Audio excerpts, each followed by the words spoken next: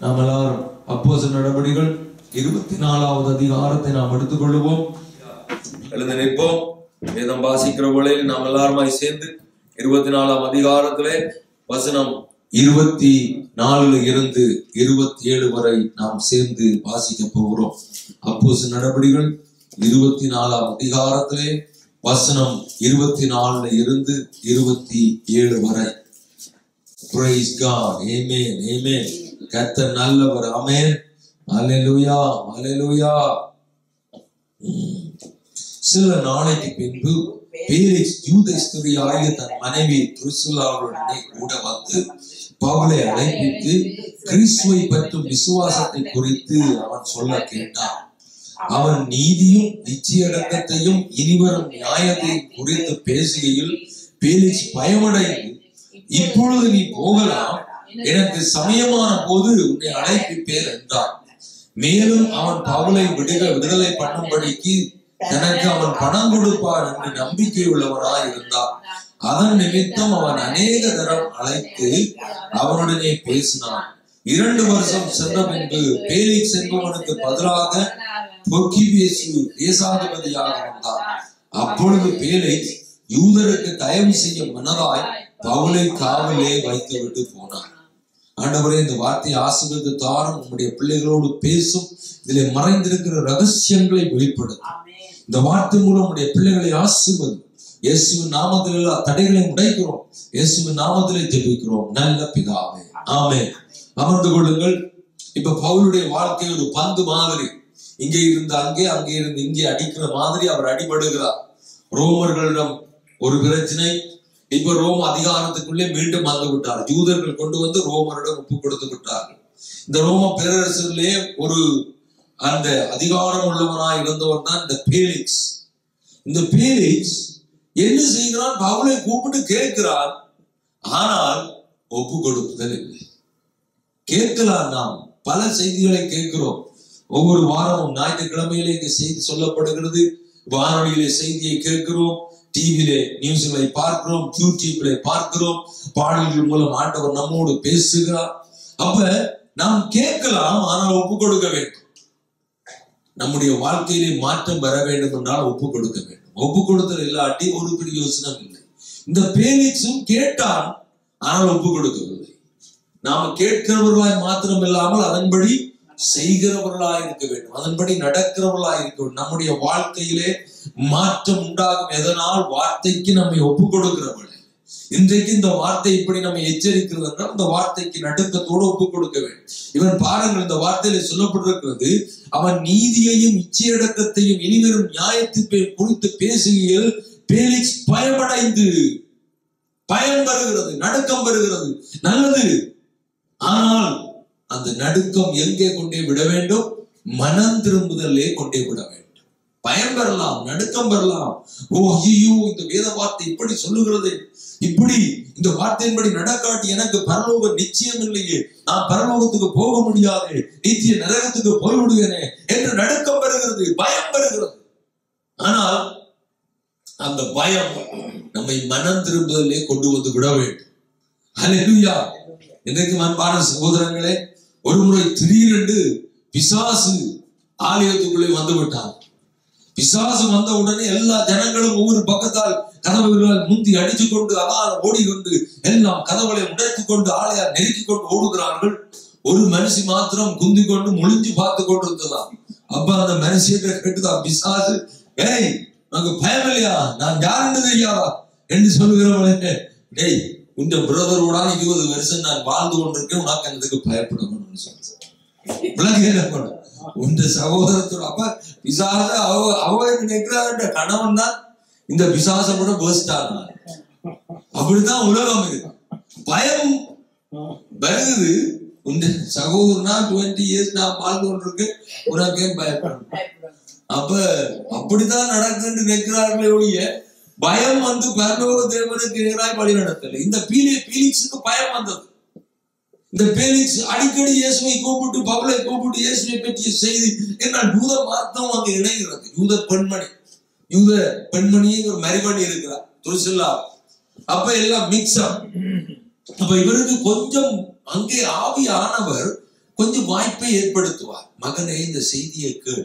ஆனா நாம ஒப்பு கொடுக்க மட்டும் அவர் போஸ்ட் பண்ணல அதோட தான் அவர் செய்ய ஆண்டவரால் செய்ய முடியாத காரியங்கள் சிலது உண்டு. கவனித்து கேளுங்கள். ஒன்று நமக்காக அவர் ஒப்பு கொடுக்கிறார். தெரிந்து வைத்துக் கொள்ளுங்கள். இந்த சர்வ வல்லமையுள்ளதவரால் செய்ய முடியாத காரியங்களும் உண்டோ என்று நீங்கள் கேட்டால் நான் சொல்லுகிறேன் கேளுங்கள். ஆண்டவரால் செய்ய முடியாது பாவம் அவரால் செய்ய முடியாது என்ன?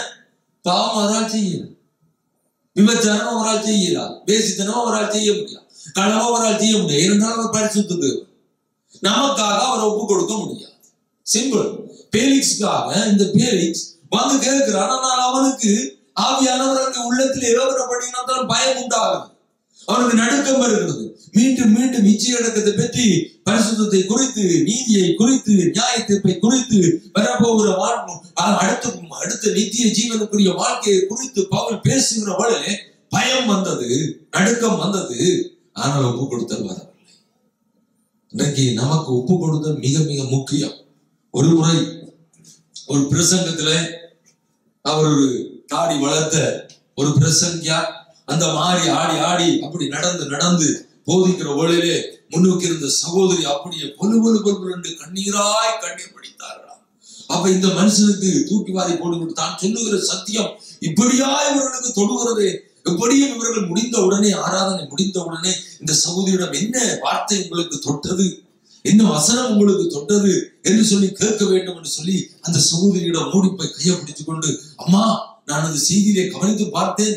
கத்தர் உங்களோடு இடைப்பட்டதை கண்டேன். வார்த்தை உங்களோடு கிரியை செய்வதை கண்டேன்.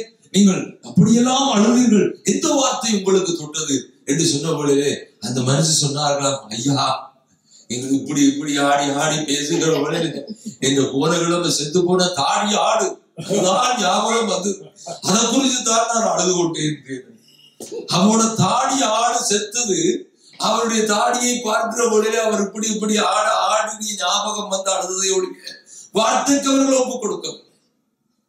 இன்னைக்கு சில உலகங்களில் நாம் வார்த்தையை கேட்கிறோம் நம்மை அறியாமலே ஓ நான் அந்த இடத்துல தான் இருக்கிறேன் அந்த நிலைமையில தான் இருக்கிறேன் அந்த பாவத்தில் தான் இருக்கிறேன் இந்த பரிசுத்தம் இல்லாமல் இருக்கிறேனே இந்த மன்னிக்காமல் இருக்கிறேனே ஒப்பு கொடுக்காமல் இருக்கிறேனே என்று உணர்வு வரும் ஆனால் ஒப்பு கொடுக்காவிட்டால் அதிலே பெரிய யோசனம் இல்லை அந்த மனுஷி அழுதது ஆனால் அந்த மனுஷிக்கு நல்ல நல்ல விதத்தையும் சொல்லுகிறேன். ரெண்டு விதம்.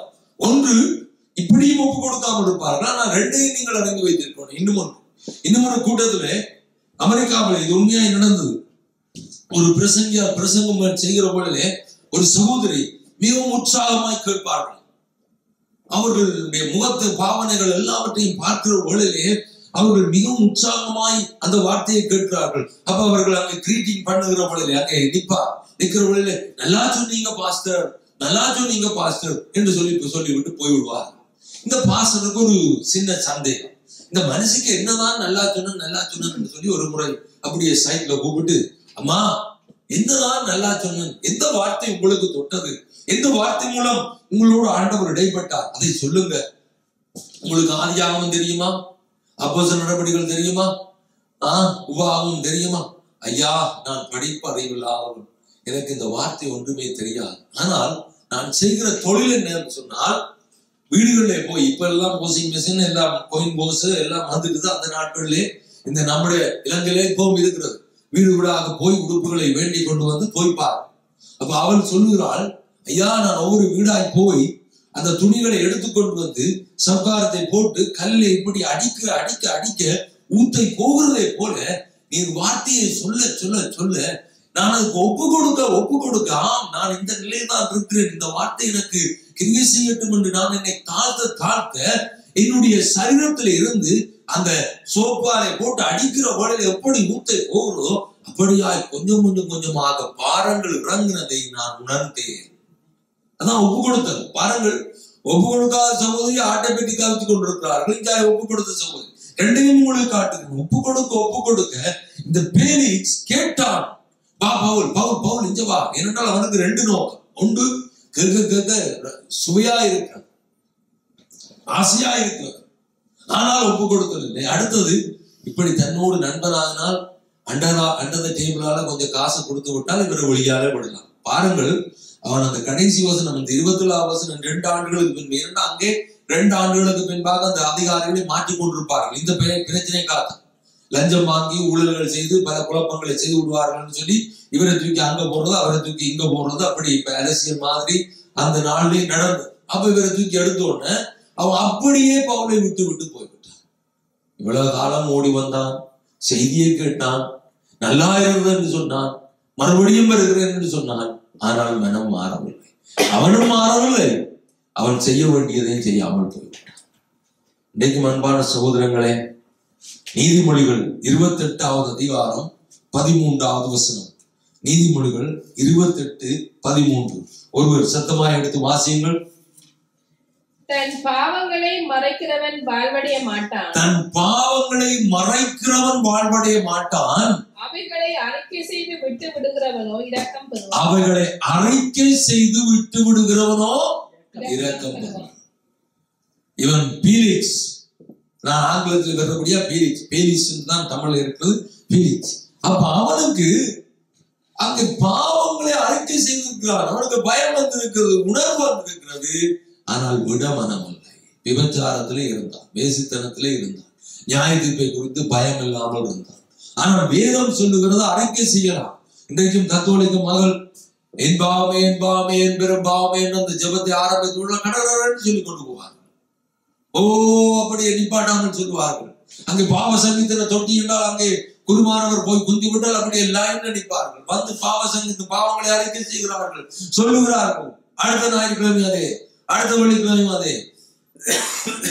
அறிக்கை செய்து கொண்டிருப்பவன் வாழ்வடைவான் என்று வேதம் சொல்லப்படும் இன்றைக்கு நாம மனதுருகும் ஏசையா அல்லது அந்த அஹ், நம்முடைய ராபோசனம் நாம் திருவிழுந்து அதுக்காய் நம்முடைய பாவங்களை நாம் நினைத்து பார்ப்போம். அதன் மூலம் கத்தர் நம்மை கத்தருடைய உறவில் இருந்து நம்மை பிரிக்கிறது. நமக்கு அந்த உணர்வு வருகிறது ஆனால் அதை விட்டு விட வேண்டும். இந்த பாவத்தினால் தேவனங்கள் என்னைக்கும் பிரிவு வருகிறது என்றால் அந்த பாவத்தை நான் செய்ய மாட்டேன். எனக்கு முடிவெடுக்கணும். We have to make the decision. If you don't make the decision that sin will kill us அது பாவம் கொஞ்சம் கொஞ்சம் கொஞ்சமாக அது நம்மை மேற்கொள்ளும். சில பொழுது நாம போய் பாவத்தை பிடிப்போம் அது பிறகு நம்மை பிடித்து விடும் நாம விட கட்டினாலும் அது விடும். அப்ப அதனால தான் நாம நம்முடைய கிறிஸ்தவ வாழ்க்கையிலே நாம் இவர்களை கற்றுக்கொள்ள வேண்டும்.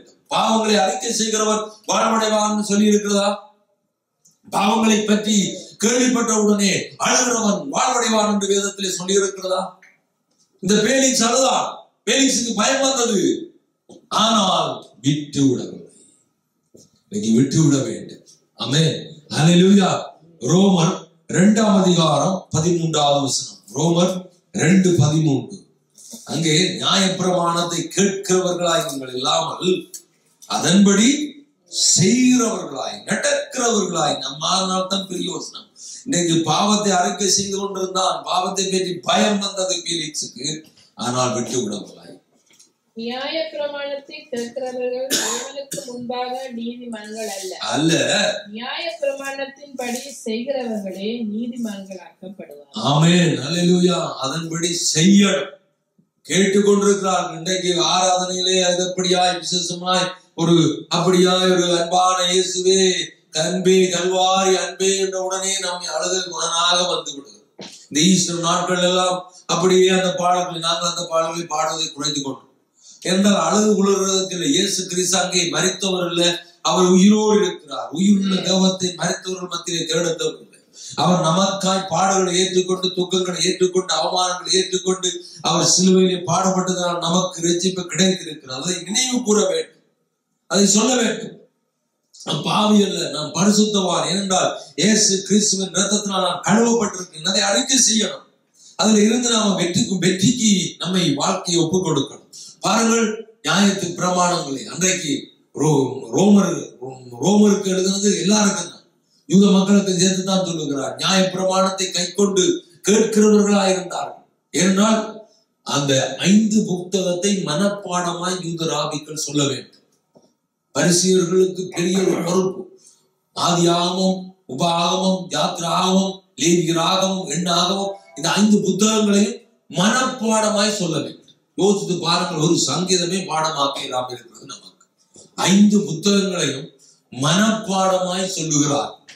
அப்ப ஐந்து புத்தகங்களை மனப்பாடமாய் சொல்லுகிறவர்கள் அவர்களுக்கு அவர் சொல்லுகிறார் இதை பாடமாக்கினால் மாத்திரம் போதா அதை கேட்டால் மாத்திரம் போதா அதன்படி நடக்கணும். ஆமே அல்லேலூயா we have நாம் இந்த வார்த்தைக்கு நம்மை ஒப்பு கொடுக்க வேண்டும். ஒப்பு கொடுக்காவிட்டால் அந்த வார்த்தையை கேட்கிறதுல எந்த பிரயோசனம் அப்ப இப்ப மத்தையும் பதினாறாவது அதிகாரத்தை எடுத்துக்கொள்ளுங்கள் மத்தேயு பதினாறு இருபத்தி ரெண்டாவது வசனம். ஒரு ஒரு வாசியுங்கள். மன்னிக்கோ மத்தேயு பத்தொன்பது. பத்தொன்பது இருபத்தி ரெண்டு அந்த வாலிபன் மிகுந்த ஆஸ்தி உள்ளவனாய் இருந்தபடியால் இந்த வார்த்தையை கேட்ட பொழுது துக்கமடைந்தவனாய் போய்விட்டான். இப்ப பதினாறாவது வசனம். அதை அந்த புத்தகத்தை எடுத்து திரும்பி திறந்து வைத்துக் கொள்ளுங்கள். மத்தேயு பத்தொன்பது பதினாறு. அப்பொழுது ஒருவன் வந்து அவரை நோக்கி நல்ல போதகரே நித்திய ஜீவனை அடைவதற்கு நான் எந்த நன்மை செய்ய வேண்டும் என்று கேட்டான். என்ன நடக்கிறது? ஆசை வருது. எல்லாரும் நித்திய ஜீவனை அடைகிறார்களாம். பரலோகத்துக்கு இயேசு கிறிஸ்து வழியை காட்டுகிறாராம். பரலோக தேவனை பூமியிலே நாம் அவரை தரிசிக்க முடியும். அவருடைய அன்பு என்ன என்பதை வெளிப்படுத்துகிறாராம் என்று இந்த வாலிபன் கேள்விப்படுகிறான். நல்லது. இந்த பேலிக்ஸும் யூதர்கள் மூலம் அங்கே யூதர்கள் மூலம் அல்ல கிறிஸ்தவர்கள் மூலம். எல்லார் மூலமும் கேள்விப்படுகிறார். என்ன கேள்விப்படுகிறான் இயேசு கிறிஸ்து தான் மெஸ்ஸையா.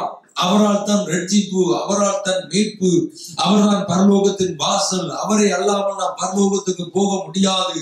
அவர் பிதாவிடம் போக வேண்டும் என்று சொன்னால் அவரிடம் போக வேண்டும். கேள்விப்படுகிறார். இந்த வாலிப பையன் கேள்விப்பட்டான் கேள்விப்பட்டு என்ன செய்கிறான்? ஓடி வந்து கேட்கிறான் நல்ல போதகரே நல்ல கேள்வி. இன்றைக்கு விவண்டவாதமாய் கேள்விகள் கேட்டுக்கொண்டிருப்பார்கள்.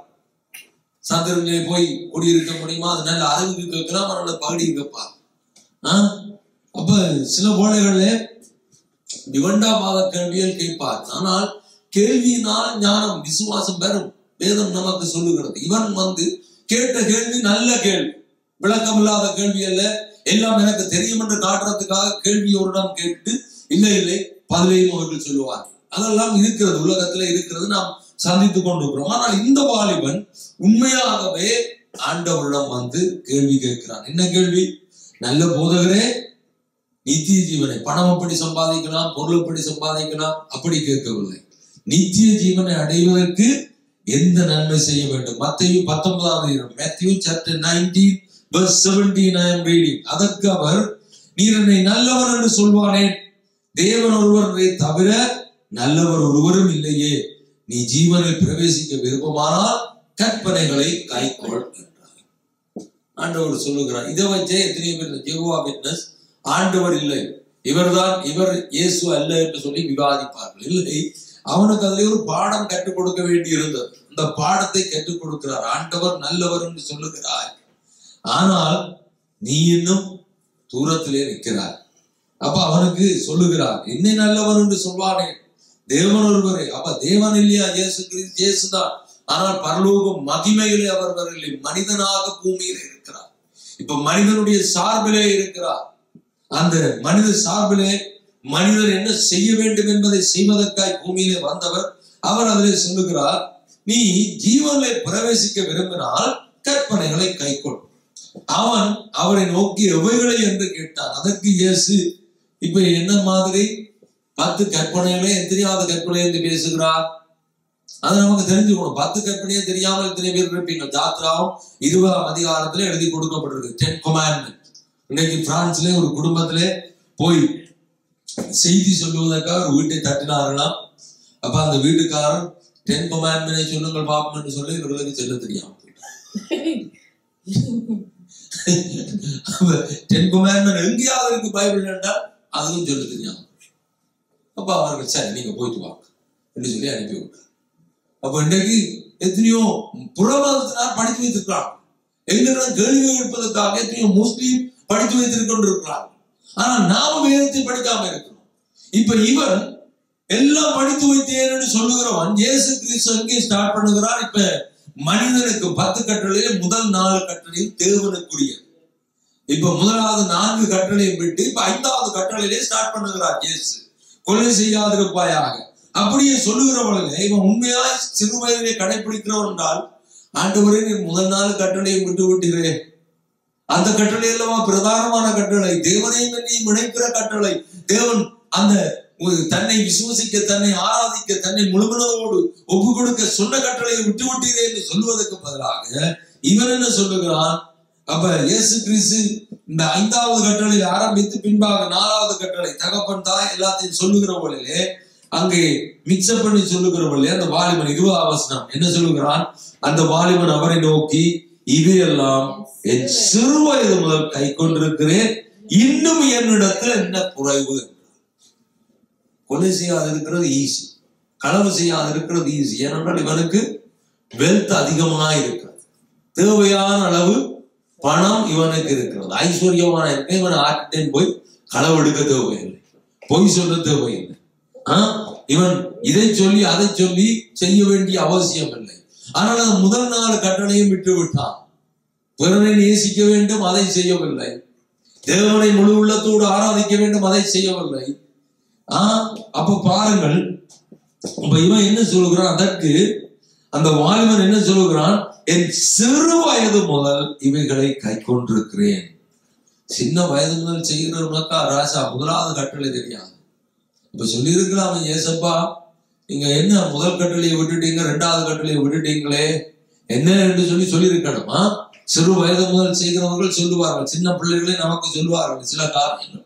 அவர்கள் நமக்கு கற்றுக் கொடுக்கிறார்கள் என்றால் அவர்கள் ஒழுங்காக படித்து பாடசாலையிலே போய் ஒழுங்கு கிரமமா இந்த காரியங்களை செய்கிறபடியினால் அவர்களுக்கு தெரியும். நாம சில ரோங்கா செய்தாலும் நம்முடைய பிள்ளைகள் சொல்லும் that is wrong this is not the way you do it this way you do it அதுக்கு பிறகு நான் அப்படியான்னு சொல்லி பார்ப்போம். அப்ப இப்ப இயேசு கிறிஸ்துடன் வந்தான்.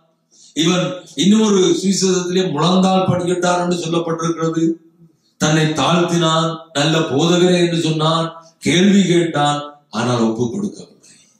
இந்த பீலிக்ஸ் இன்னைக்கு வாசித்த அப்போது நடவடிக்கைகள் இருபத்தி நாலுல இருபத்தி நாலாம் அதிகாரம் இருபத்தி நாலுல இருந்து வாசித்தோம் அல்லவா? அதுலயும் பாவத்தை குறித்து நியாய தீர்ப்பை குறித்து பரிசுத்தத்தை குறித்து தேவன் தேவனுடைய ஊழியக்காரன் பவுல் சொன்னபடியிலே பயமடைந்தார் என்று சொல்லப்பட்டிருக்கிறது. பயம் வரும். பக்தி. வருகிற வழியிலே அங்கு சொன்னார் பக்தி தான் இப்போ கூடி போயிட்டு ஒழுங்கு இல்லாமல் கோயில் பூனை தேவனை மதியாது என்று சொன்னதை போல கோயிலே எல்லாத்தையும் செய்யலாம் சொல்லி தேவன பேராலே எல்லாத்தையும் செய்து கொண்டிருக்கிறார். தேவனையும் இதுக்கு சாட்சியா எடுத்துக் கொண்டிருக்கிறார்களே. பயமில்லை. தேவனுக்கு பயப்படுகிற பயம் இல்லை இன்றைக்கு இந்த பேரிக்ஸுக்கு சொல்லப்பட்டது நீ வாழுகிற வாழ்க்கை பிழை. நீ துருசல்லாவோடு இருக்கிறார் ஜூத பெண்மணியோடு. அது இரண்டாவது மனைவி அவன் அப்ப அதை பற்றி சொல்லுகிற பொழுது அவன் அதை குறித்து பயம் பெறுகிறது ஓ நடுக்கம் பெறுகிறது நித்திய ஜீவனுக்கு போறண்டா? நியாய தீர்ப்பு உண்டா எஸ் உண்டு. அதுக்கு நீ பேஸ் பண்ண வேண்டும். நீ தேவனுக்கு முன்பாக நியாயாதிபதியாகிய கத்ரா இயேசு கிறிஸ்து வருவார். அவர் நியாயம் விசாரிப்பார். அதை பவுல் சொன்ன பொழுது அவன் நடுங்கி விட்டான். ஆனால் ஒப்பு கொடுக்கவில்லை பதினேழாவது இதுல ஆண்டவரே தன்னை நல்லவன் என்று சொல்லுவார் என்று கேள்வி என்னென்று சொல்லுவார். ரெண்டு போட்டு ம். இருபத்தொண்டு சொல்றார் என்ன பின்பற்றுவார் அப்ப நல்லவன் இல்லைன்னா என்ன பின்பற்றுவார் அதுக்கு என்ன விளக்கம்? இல்ல நல்லவன் ஒருவனும் இல்லையே பூமியில ஒரு மனம் இல்லை. ஒருவனும் இல்லை அதுக்காக ம். தன்னே கூடாண்டு சொல்றார் ம். நல்லவன் இல்லையாண்டு ம். வேண்டி இருபத்தி ஓராவது வசனத்துல சொல்றார் அப்போது பலவத்து பொக்கிடம் உண்டாயிருக்கும் உனக்கு பொக்கிடம் உண்டாயிருக்கும்.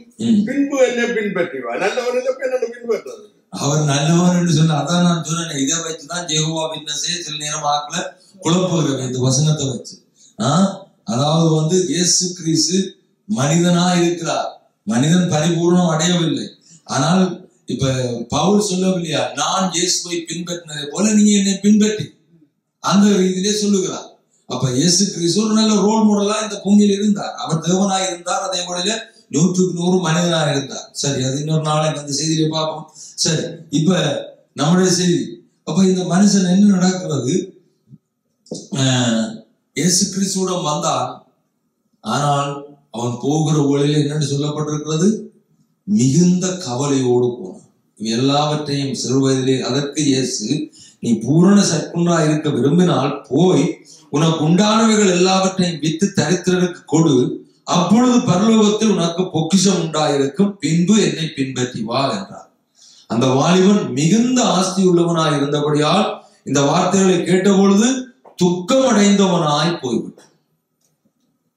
ஈஸியானதை செய்யலாம். பவுலுக்கு சொல்லப்பட்டது அமலேக்கியர் எல்லாரையும் அழைச்சிட்டு வா அங்கே இருந்து ஒட்டும் கொண்டு வராது அவன் ஆடு மாடுகளையும் கொண்டு வந்து விட்டான். அமலேக்கியரையும் அமலேக்கிய ராஜாவையும் கூட்டிக் கொண்டு வந்துட்டான். அப்ப வருகிறான் வந்து கேட்கிறார் தீர்க்கதரிசி என்னையா ஆண்டவர் சொன்னபடி செய்த ஓ எல்லாம் நீ சொன்னபடியே செய்துட்டேன்.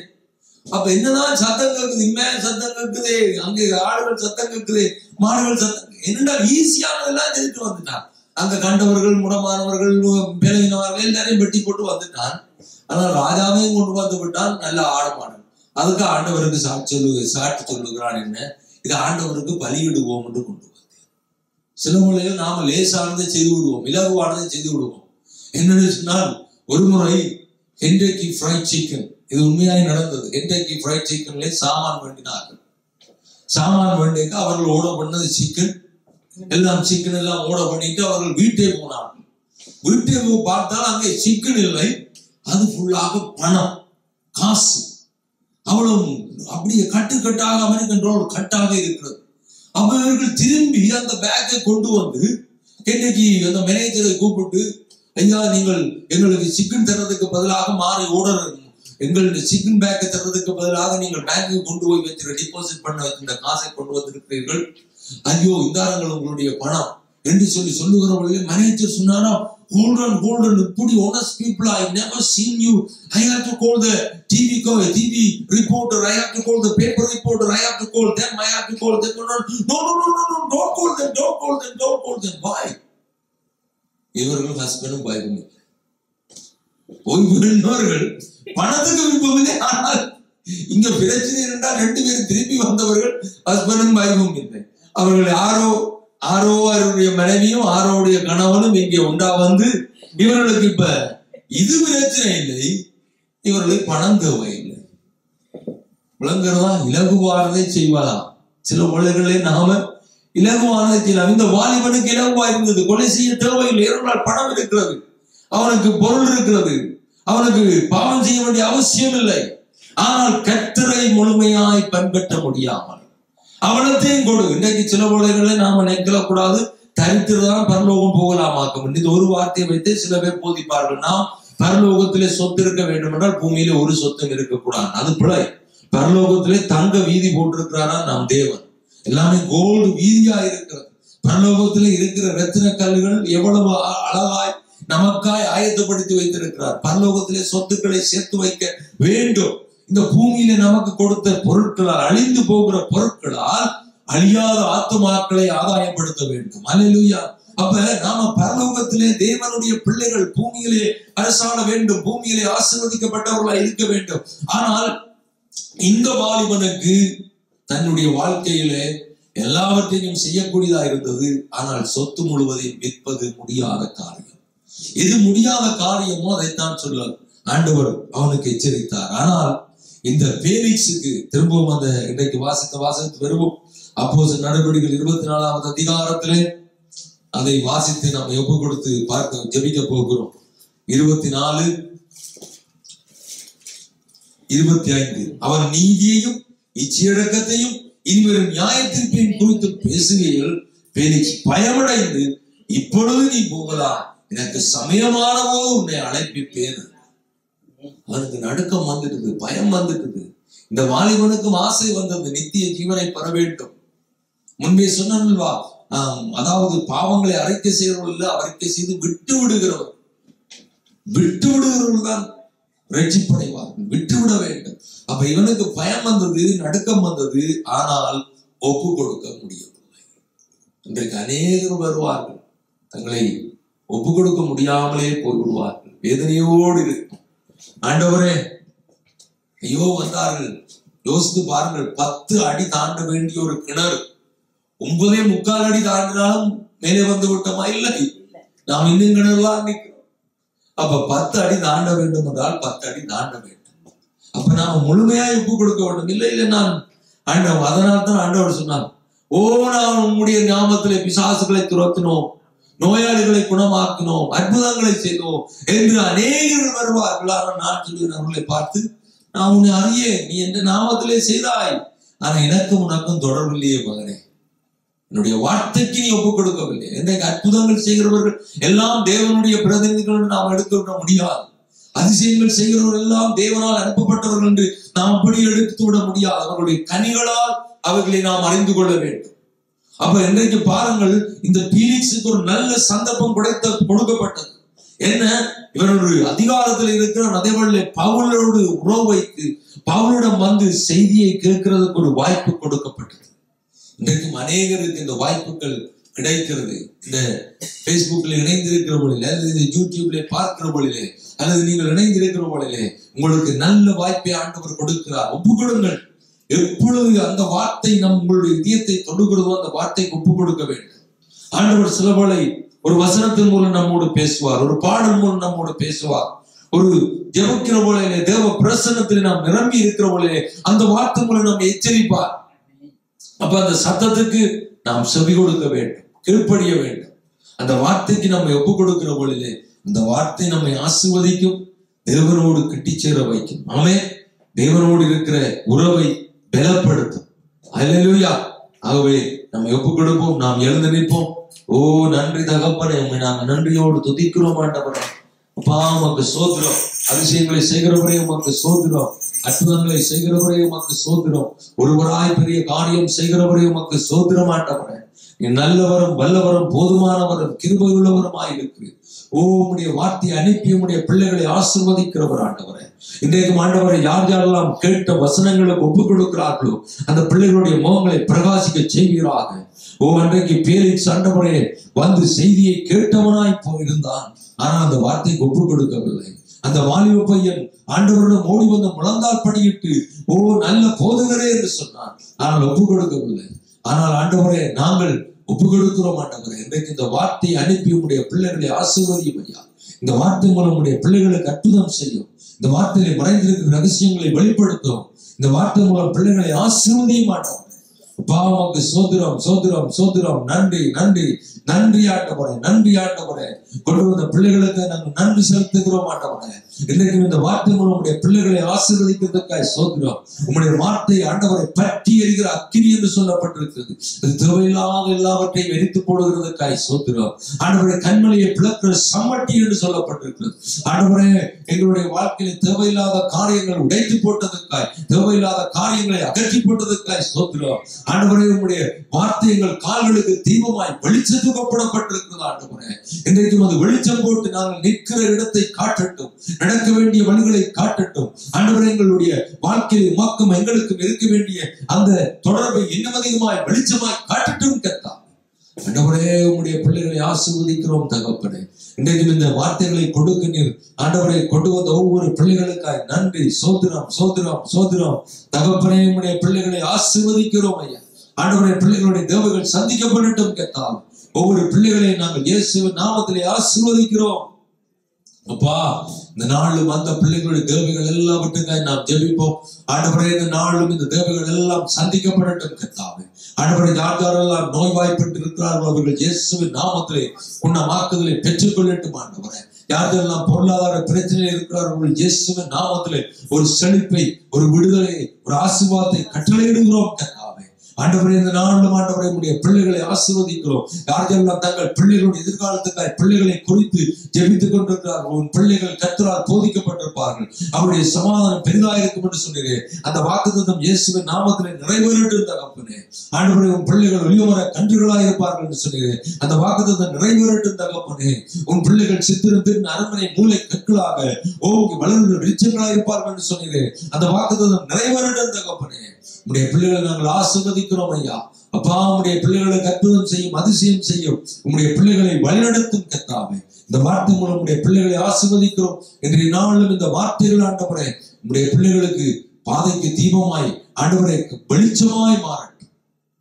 அன்றைக்கும் பேலிக்கு ஒப்பு கொடுக்காத இப்போ ஒப்பு கொடுக்காதபடி இல்லாதபடி.